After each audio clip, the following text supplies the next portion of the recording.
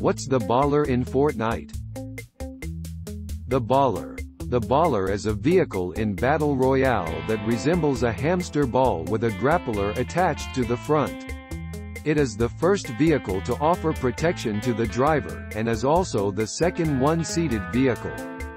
The baller's outer shell protects the player from any damage, and the grappler allows for mobility.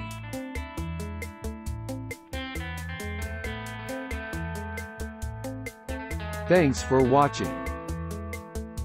Please subscribe.